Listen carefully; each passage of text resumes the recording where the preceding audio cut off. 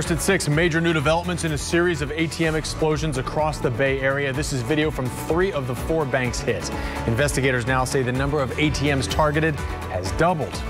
Good evening, everyone. I'm Jamison Uhler. And I'm Wendy Ryan. Thanks for joining us. Deputies also just released new surveillance photos of the suspects. Our Isabel Rosales is following the trail of evidence and finding out what might be motivating this dangerous crime.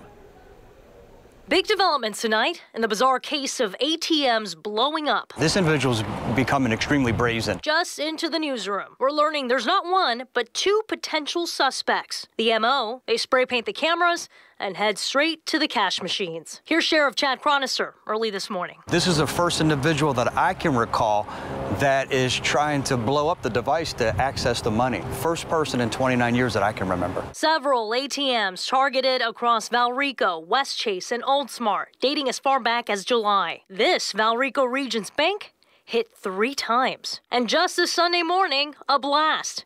For the first time, money is stolen. Bombers are very distinct in how their personality and behaviors are um, developed. USF's Dr. Bryanna Fox calls the details very rare. She'd know. She used to profile suspects as an FBI special agent. Fox says those who use explosives tend to be narcissists, introverted, and skillful. Just take a look.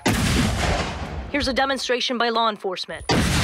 Different explosives, all powerful precise, and above all, dangerous. I don't know how sophisticated the device is.